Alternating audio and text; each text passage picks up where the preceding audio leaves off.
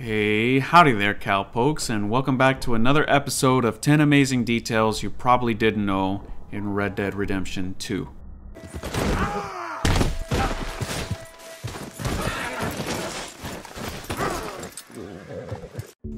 For this first detail, during the mission where Dutch and Arthur wade through murky swamp waters, Thomas will tell Arthur to stop moving when he notices an alligator passing by. But if Arthur does not listen to Dutch and Thomas, they will make a remark about him being insane. Hold up. Hey! Have you got?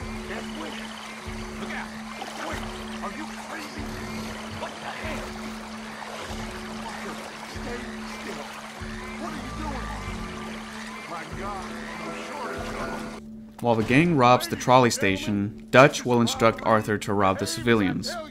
If you don't do as he says, he will question and then scold you for it. Now remember. God help we me! just want money. Don't make us kill you. Mr. M, relieve these fine folks of their valuables. Mr. S, check that room back there. Why aren't their pockets empty yet, Mr. M? Why aren't you taking donations, Mr. M? Get their money. Let's hurry this up. During the O'Driscoll raid on Shady Belle, Dutch will tell you to go downstairs to help the gang hold off the attackers. But if you don't listen or if you ignore him, he will quickly shove you out of the door. Now, go on! Come on, damn Driscoll! This next detail is one of my absolute favorite. Arthur and the gang will have to fight off the Cuban army on Guarma. After they are alerted of the incoming warship, Arthur will emerge from the fort and will see two small birds fly away from the ledge just before the battle begins.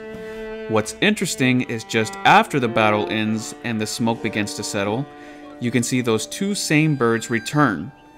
This is symbolizing the spirits of Hosea and Lenny following Arthur. There are several members of the gang who have died and are symbolized by their respective spirit animals, such as Arthur and the deer or the coyote, and then also in the epilogue, he can be seen symbolized by a blue jay if he had high honor, or Eagle Flies and the eagle, or even Micah and the rat. There are a lot of connections from each character to their spirit animal, and I'll elaborate more on that in a separate video. During the loan sharking missions for Strauss, Arthur can inform him of his progress with the collections. After they have all been visited, Arthur can have a hidden dialogue with Strauss to tell him to stop preying on the desperate people. I know.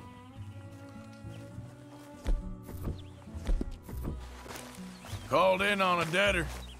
Well done. In the box. Mm-hmm. No more desperate, Strauss. It's in a debtor's nature.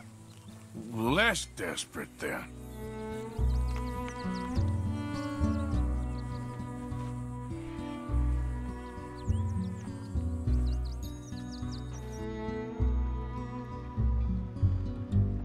I'm guessing Mr. Crawford's dream of Van Horn being the trading post of the future is well and truly dead. Arthur can visit the Van Horn post officer, who will mention that Mr. Crawford's vision of Van Horn is not living up to his expectations. What's interesting is that if you go down a little ways further on the dock, you can find the fence whose name happens to be Mr. Crawford. This could mean that he is the man who is in charge of Van Horn, or he is the overseer, or it could even be that he's the man who founded Van Horn.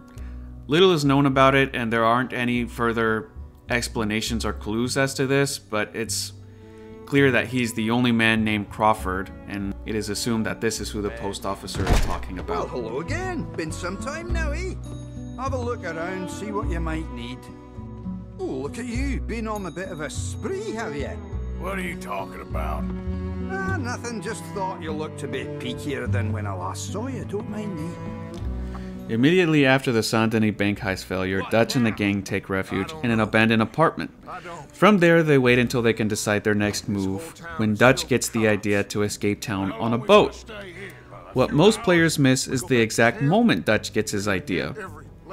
If you look closely, you can see that Dutch is contemplating their escape until he notices a painting of a boat on the wall, which there are several in this apartment. And that's when he realizes that's their move. getting his idea from the painting that he sees. I got it. A boat. What you mean? We stay here till nightfall. Then we sneak on down to the docks. We get ourselves out of here. Yeah, where? Any place'll do. That's all I got. We leave. We lie low. We come back for the rest in a few weeks. I'm guessing it's that. Or we die out there right now. Exactly. Now, everybody, calm down.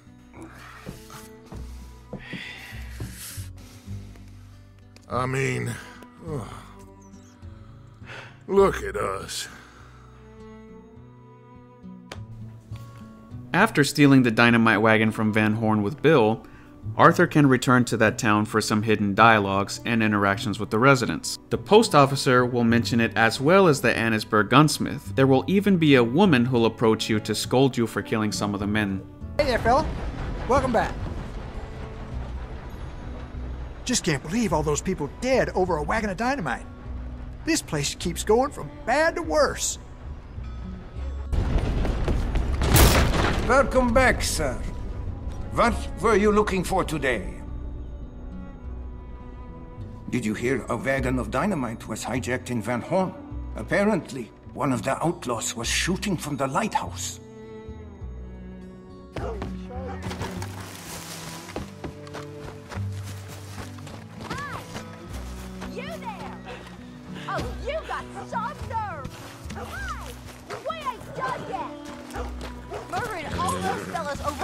Over a dynamite? Who the hell you think had to deal with them corpses, huh?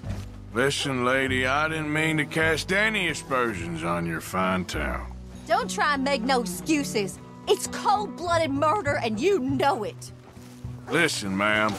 I didn't mean anything against your town or you. I'm in a messy business, is all. That's what you gotta say? I hope you die in the street like they did. Why are you defending those thugs anyway? You knew one of them? That it? I kill your honey? You! You're a sick man! Oh, wait!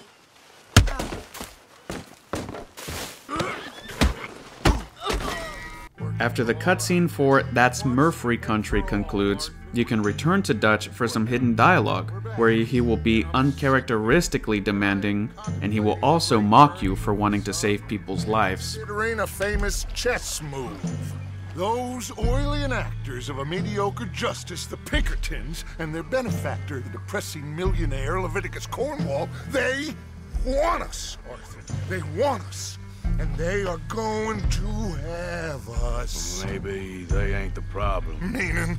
I don't know. It's just, well, I can't help but feel we would have been better running off someplace else. But the, the game ain't over, Arthur. I mean, I ain't, I ain't played my, my final move, but I guess I'm more interested in saving lives than winning at chess. And maybe life ain't such a thing to cling on to so tightly. No doubt.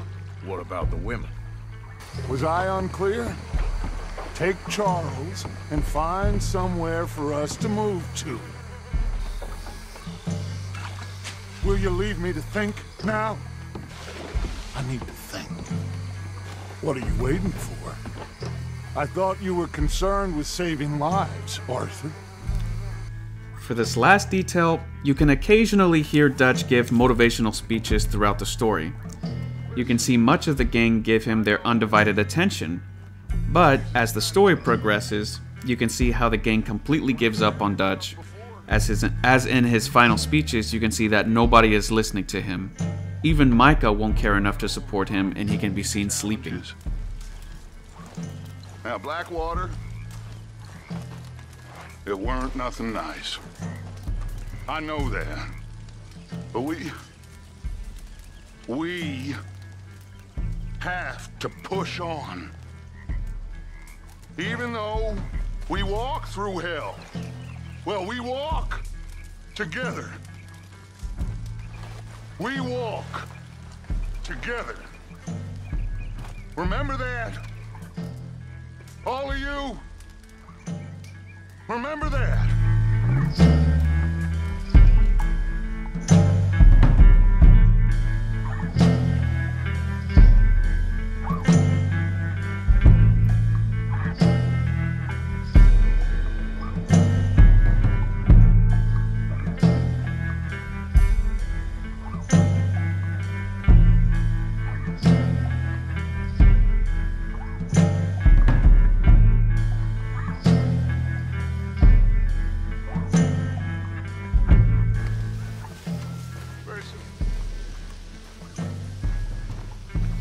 Listen to me. All of you. Listen. We're here. And we are safe now. And that is the main thing. Listen to me. You have got to keep faith. You've got. Now, I know. I know. I miss Hosea. I surely do. I miss every man and every woman who fell. I do. And I would die in their place gladly if I could. This world is unkind. But it won't break me. Not while I have you by my side. We... We get some money, and we can still...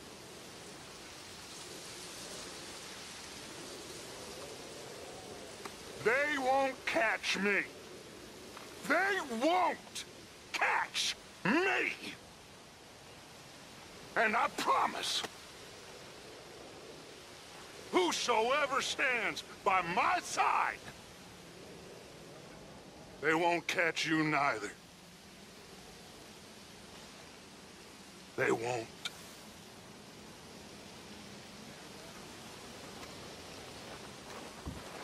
We're still a step ahead of them. Just about. Yes, and we must stick together. Now, more than ever before. Okay, Dutch. Hey, get up. Wake him up a little! Forgiveness? There's some folks that don't deserve it.